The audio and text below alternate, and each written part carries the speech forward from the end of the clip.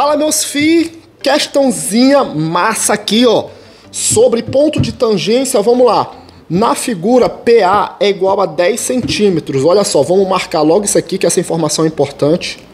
PA é igual a 10 centímetros, de boa. Calcule o perímetro do triângulo PRS. Ó. Ele diz que isso aqui daqui para cá mede 10. E o que, que ele pede na questão Vold? Ele pede o perímetro deste triângulo aqui, ó ele pede o perímetro deste triângulo aqui. Ficou torto aí, né, cara? Ele pede o perímetro deste triângulo. Vou como é que eu vou fazer isso aí sem cálculo? Veja só, são as melhores questões, tá? Essas questões em que você tem pouco cálculo aí, um pouco mais de raciocínio. Vamos lá. Veja só, este ponto P aqui, ó, ele é um ponto externo à circunferência. O ponto A é o ponto de tangência deste segmento aqui, ó. Deste segmento, tá bom? Aqui, o ponto B é outro ponto de tangência, então o que, é que eu tenho aqui? Eu tenho que PA ele é igual a PB. Estes dois segmentos eles são iguais. Tranquilo até aí? Ok, vou disso aí eu entendi. Guarda no coração e vamos aqui para o que segue aqui, tá bom? Pela mesma razão, meus queridos, pela mesma razão, veja só, o R aqui, ó, ele também é um ponto externo, tá bom?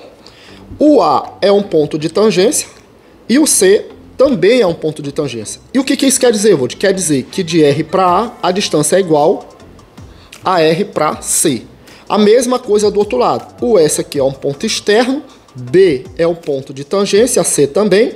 Então a distância de S para B é igual à distância de S para C. Tranquilo? Tá, de onde tu quer chegar? Eu quero chegar no seguinte. Imagina que você está percorrendo uma estrada, tá, meu caro? Você está percorrendo uma estrada. Ir de R para A, sair de R e chegar a A e ir até A, é a mesma distância de R para C. Então, percorrer a distância de R para A é a mesma coisa de percorrer a distância de R para C. Agora eu vou te explicar onde eu quero chegar. Veja só, bora lá. O que, que eu disse para ti? Eu disse aqui, e aliás a questão disse, tá? Que PA mede 10. Ora, PA mede 10. Ó. Daqui para cá, você tem uma medida igual a 10. Ok. Amigo, se sair de P para chegar em A, se eu sair de P para chegar em A, eu vou ter que andar 10 para sair de P e chegar em C, eu também vou andar 10. Por quê? Porque a distância de R para A é igual à distância de R para C. Então, quando eu chego neste ponto bem aqui, ó, tanto faz ir para A quanto ir para C. Vai dar na mesma.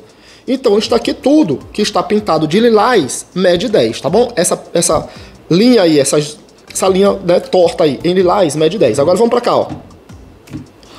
É, aqui eu tenho que a distância de P para B também mede 10, porque os segmentos são iguais, você já viu.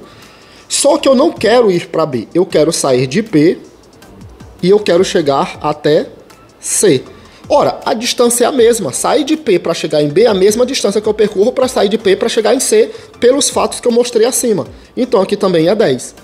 Olha, Vô, tu quer me dizer então que o perímetro desse triângulo é 20? Exatamente. Porque o que eu tenho pintado em lilás vai ser somado com o que eu tenho pintado em vermelho, para dar o perímetro do triângulo. Então, o perímetro deste triângulo é igual a 10 mais 10, que é igual a 20, meu filho. Fechou, cara. É isto.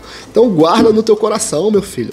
Um beijo, não entendeu? Volta de novo pro começo da explicação e até a próxima.